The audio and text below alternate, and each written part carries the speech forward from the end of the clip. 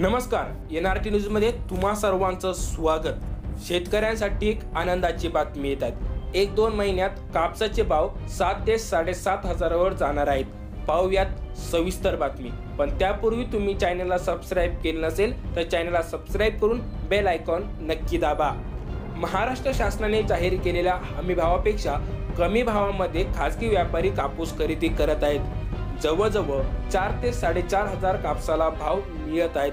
हमी भावापेक्षा खूपच कमी भाव मिळत असल्यामुळे शेतकऱ्यांचे मोठे प्रमाणात नुकसान होत आहेत पण मित्रांनो या तोडग्यासाठी राज्य शासनाने एक अट निर्माण केली आहे की जो व्यापारी एकवीस नोव्हेंबर पर्यंत हमी भावापेक्षा कमी भावात कापूस खरेदी केल्यावर त्या व्यापाऱ्याला हमी भावापेक्षा जास्त भावाने कापूस खरेदी करावा लागणार आहे.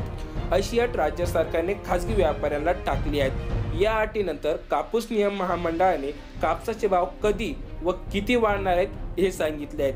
कापूस नियम महामंडळाने दिलेल्या माहितीनुसार या दोन ते तीन महिन्यात म्हणजेच डिसेंबर ते जानेवारी पर्यंत कापसाचे भाव सात ते साडेसात हजारापर्यंत जाणार आहेत. या डिसेंबर महिन्यात कापसाचे भाव पाच ते साडेपाच हजारापर्यंत जाऊ शकते.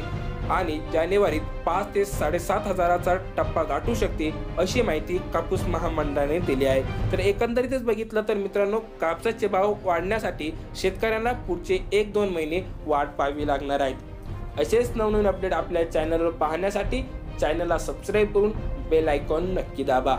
धन्यवाद.